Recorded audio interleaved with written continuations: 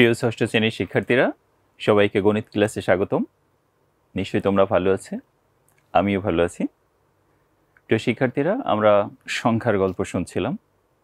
সংখ্যার গল্পের গত পর্বে আমরা যা শিখেছিলাম সেটা হচ্ছে গণিতের ম্যাজিক নিশ্চয়ই তোমাদের মনে আছে, আমরা তিন কার্ডের ম্যাজিক দেখেছিলাম। এই ম্যাজিকটা তৈরি করার জন্য আমরা প্রথমে একটা ফোর সাইজের কাগজ প্রথমে আট টুকরা করে নিয়েছিলাম। এই আট টুকরার ভিতর থেকে, নিশ্চয়ই তোমাদের মনে আছে, এই আট টুকরার ভিতর থেকে আমরা এক, দুই, তিন, চার, পাঁচ, ছয়, সাত, আট এভাবে আট পর্যন্ত লিখে নিয়েছিলাম। এই আটটা টুকরার ভিতর থেকে তোমরা যে কোনো তিনটা টুকরা বাছাই করেছিলাম দুইজন দুইজন করে বা জোরে জোরে যেহেতু কাজ করেছিলাম, একজন তিনটা টুকরা, অন্যজন আরও তিনটা টুকরা নিয়েছিলাম। এরপর এই তুন, তিনটে টুকরা থেকে যে কোনো তিনটা টুকরা থেকে আমরা এক, তিন, আট এরকম তিনটা টুকরা বাছাই করেছিলাম। এই তিনটা টুকরা থেকে সর্বোচ্চ সংখ্যা তৈরি করেছিলাম। তিনটি কার্ড দ্বারা গঠিত বৃহত্তম সংখ্যা তৈরি করেছিলাম।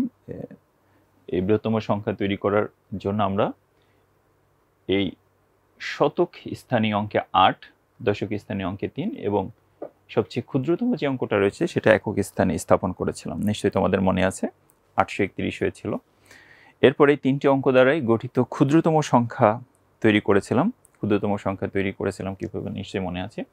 এই তিনটি অঙ্কর ভিতর থেকে সবচেয়ে ক্ষুদ্রতম যে অঙ্কটা রয়েছে সেটা আমরা শতকের স্থানে স্থাপন করেছিলাম, দশকের স্থানে তিন এবং এককের স্থানে স্থাপন করেছিলাম আট। ফলে আমাদের সংখ্যাটা তৈরি হয়েছিল একশো একটি একশো আটত্রিশ।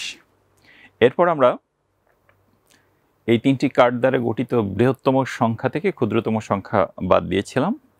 আমাদের বৃহত্তম সংখ্যা তৈরি হয়েছিল আটশো একত্রিশ এবং ক্ষুদ্রতম সংখ্যা তৈরি হয়েছিল একশো আটত্রিশ। আটশো একত্রিশ থেকে একশো আটত্রিশ এরপর আমরা বিয়োগ করেছিলাম। বিয়োগ করে আমাদের বিয়োগফল হয়েছিল এরকম একটা সংখ্যা। এরপরে আমি শুধুমাত্র তোমাদের একক স্থানীয় অঙ্কটা জিজ্ঞেস করেছিলাম, বাকি দুইটা অঙ্ক কিন্তু আমি বলে দিয়েছিলাম। নিশ্চয়ই মনে আছে ম্যাজিকটির কথা? শুধুমাত্র তোমরা আমাকে তিন বলেছিলে, বাকি দুইটা অঙ্ক কিন্তু আমি বলে দিয়েছিলাম। প্রিয় শিক্ষার্থীরা, তোমরা এই ম্যাজিকটা নিয়ে নিশ্চয়ই তোমাদের বন্ধু বান্ধব বাড়িতে মা বাবা আত্মীয় স্বজন সবার সাথে কথা বলেছ। তারাও নিশ্চয়ই খুব আগ্রহ নিয়ে তোমার এই গণিতের ম্যাজিকটা শুনেছ। প্রিয় শিক্ষার্থীরা, ম্যাজিকটি কীভাবে কাজ করে, তোমরা কি চিন্তা করতে পারবা? নিশ্চয়ই তোমরা চিন্তা করেছ। তোমরা আরেকটু চিন্তা করো, আমি তোমাদেরকে পাঁচ মিনিট সময় দিলাম। এই পাঁচ মিনিটের ভিতরে তোমরা চিন্তা করো, এই ম্যাজিকটা কীভাবে কাজ করে। তোমরা কি কেউ ব্যাখ্যা করতে পারবা, ম্যাজিকটি কীভাবে কাজ করে? শাহেদ, তুমি ব্যাখ্যা করো, ম্যাজিকটি কীভাবে কাজ করে?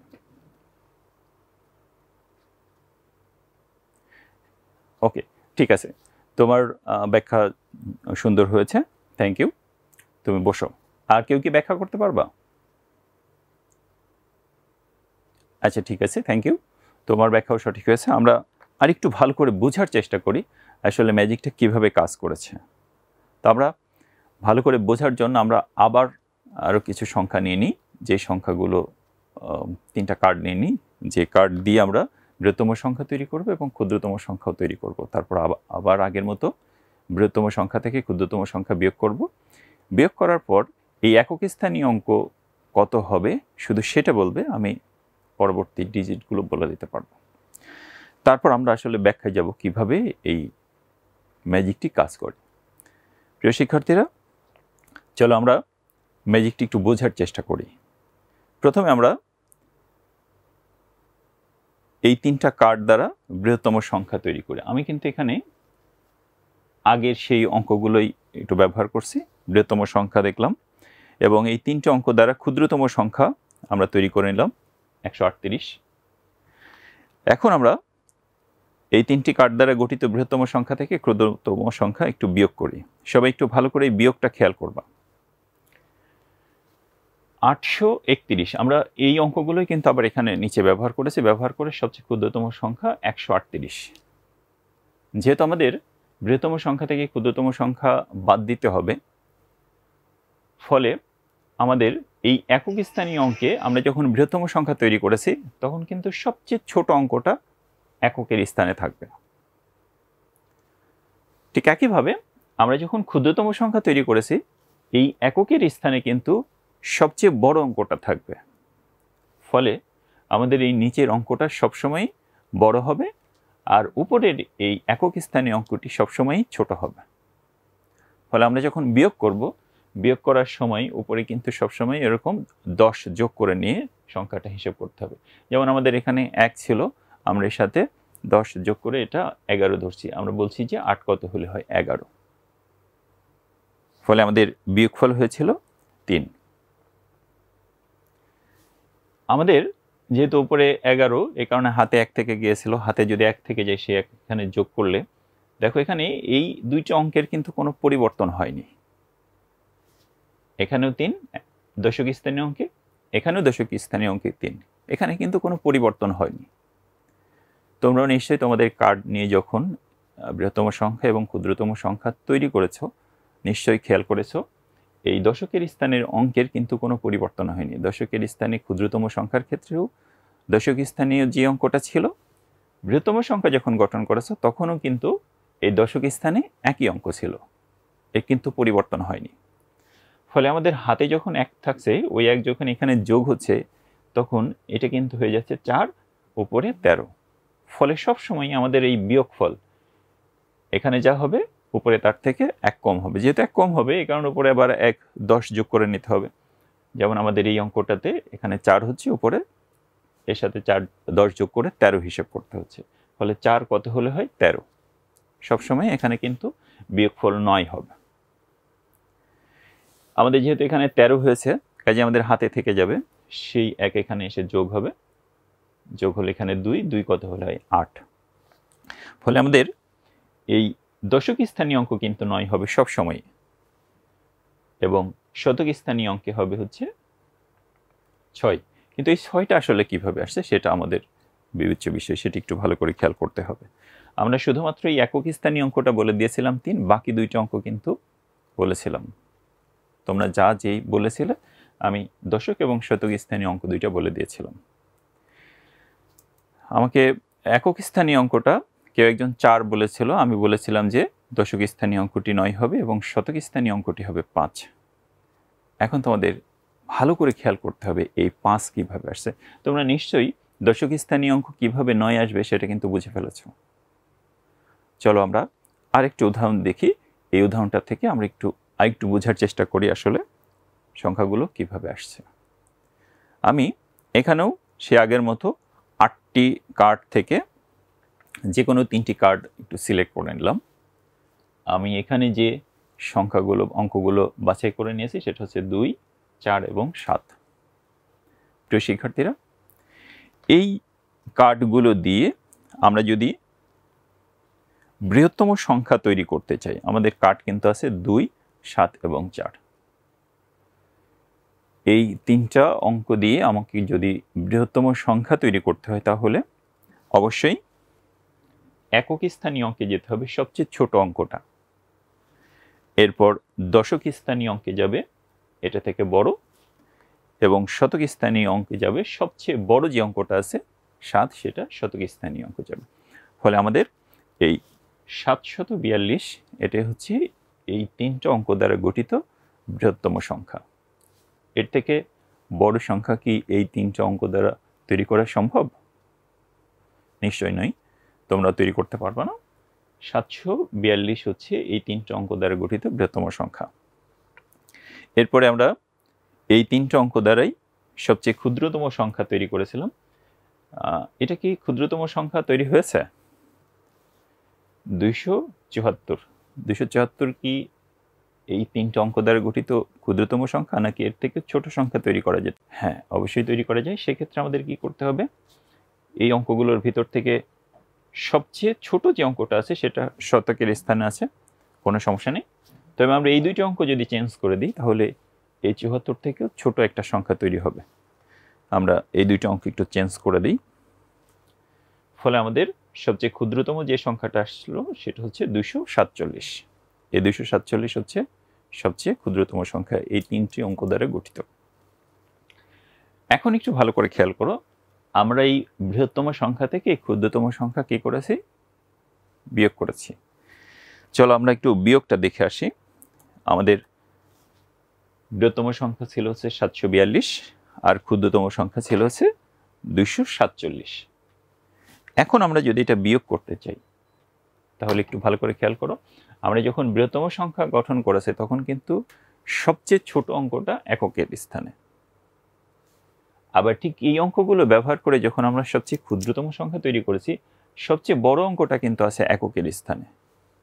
ফলে যেহেতু আমরা বৃহত্তম সংখ্যা থেকে ক্ষুদ্রতম সংখ্যা বিয়োগ করছি, এককের স্থানে কিন্তু সবচেয়ে বৃহত্তম অঙ্কটা আছে এককের স্থানে আর বৃহত্তম সংখ্যার এককের স্থানে আছে সবচেয়ে ক্ষুদ্রতম অঙ্কটি। ফলে আমরা এখন যদি বিয়োগ করতে যাই, ফলে উপরটা কিন্তু সবসময়ই ছোট হবে নিচের এই অঙ্কটা থেকে। ফলে উপরে অঙ্কটাতে আমরা দশ যোগ যদি করি, তাহলে বারো হবে। সাত কত হলে হয় বারো? নিশ্চয়ই পাঁচ। এবার প্রিয় শিক্ষার্থীরা, তোমরা আমাকে বলো, বাকি দুইটা অঙ্ক কি হবে?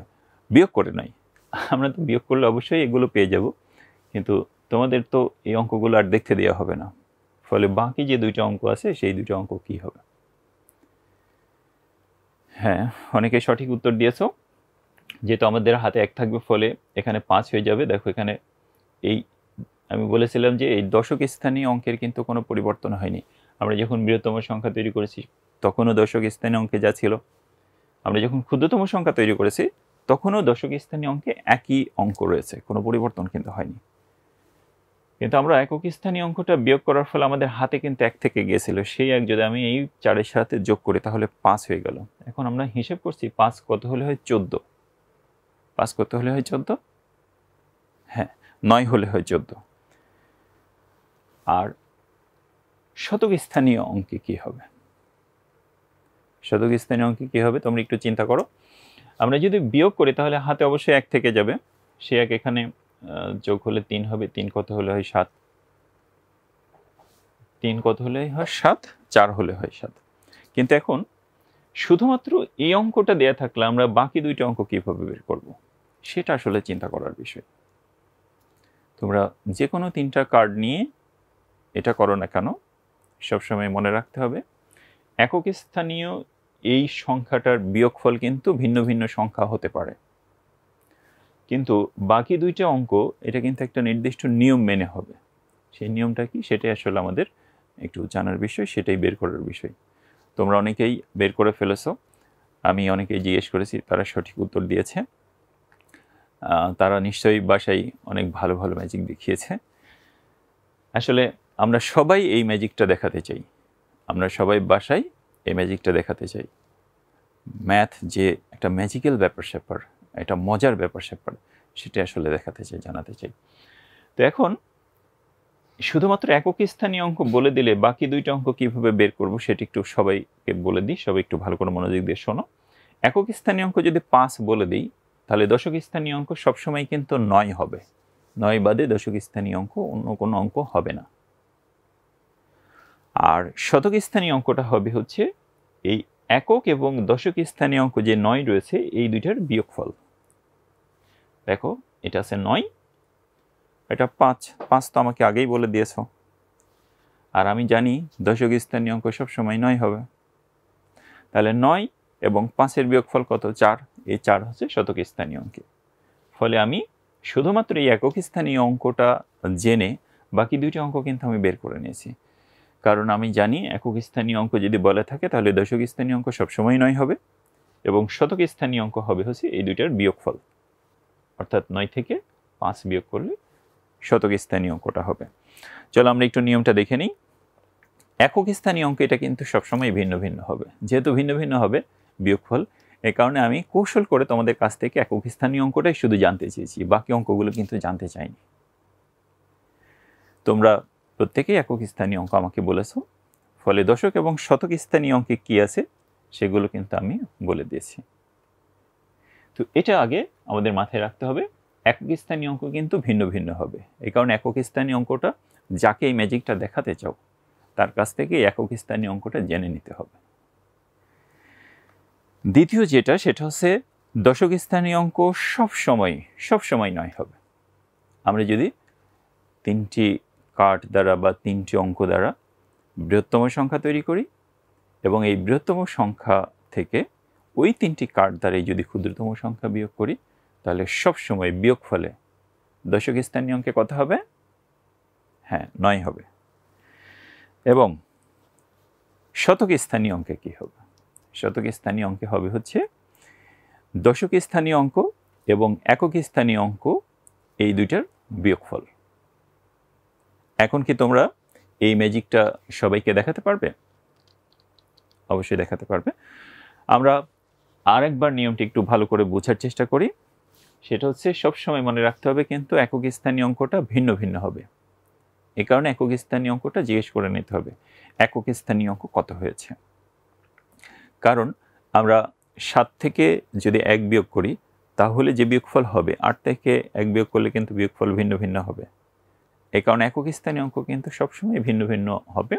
এ কারণে একক স্থানীয় অঙ্কটা, যাকে তুমি ম্যাজিক দেখাতে চাও, এই একক স্থানীয় অঙ্কটা জিজ্ঞেস করে নিতে হবে। আর দশক স্থানীয় অঙ্ক কী হবে? হ্যাঁ সবসময় নয় হবে। কেন নয় হবে সেটা তো নিশ্চয়ই তোমরা বুঝতে পেরেছ।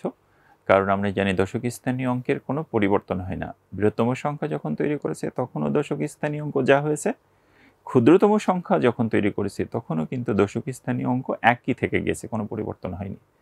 ফলে যখন আমরা বিয়োগ করব, বিয়োগ ফলে সবসময় নয় হবে। আর শতক স্থানীয় অঙ্কে হবে হচ্ছে একক স্থানীয় অঙ্কটা নয় থেকে বাদ দিতে হবে। এ কারণে নয় বিয়োগ একক স্থানীয় অঙ্ক। নয় থেকে আমরা একক স্থানীয় অঙ্কটা বাদ দিলে আমাদের পুরো বিয়োগফলটা আমরা পেয়ে যাব। প্রিয় শিক্ষার্থীরা, তোমরা তিন কার্ডের এই ম্যাজিকটা নিশ্চয়ই সবাই বুঝতে পেরেছ। এই ম্যাজিকটা যারা গতদিন বাসায় দেখিয়েছ আর যারা দেখাতে পারো নাই, যারা দেখাতে পারো নাই, অবশ্যই তোমরা বন্ধুদের সাথে শেয়ার করবে, পরিবারের লোকদের সাথে শেয়ার করবে, আত্মীয় স্বজনদের সাথে শেয়ার করবে, যাতে গণিতের প্রতি এই যে মানুষের যে ভীতিটা রয়েছে, সেই ভীতিটা দূর হবে। প্রিয় শিক্ষার্থীরা, আমরা আজকে ক্লাস শেষ করব। তোমরা ম্যাথ নিয়ে চিন্তা করতে থাকো। ম্যাথ আসলে কঠিন বিষয় না, এটা মজার বিষয়। আমরা পরবর্তী ক্লাসে ম্যাথের এরকম আরও একটা ম্যাজিক দেখব। এই ম্যাজিকটা একজন প্রিয় মানুষের বয়স, জিজ্ঞেস না করে বয়স কত হবে সেটা বলে দিতে পারবা। একটা সুন্দর ম্যাজিক আমরা এর পরের ক্লাসে দেখব। তোমরা নিশ্চয়ই সেই ক্লাসের অপেক্ষায় থাকবে। আর ততদিন ভালো থেকো, সুস্থ থেকো, সুন্দর থেকো। সবাইকে ধন্যবাদ। আল্লাহ হাফেজ।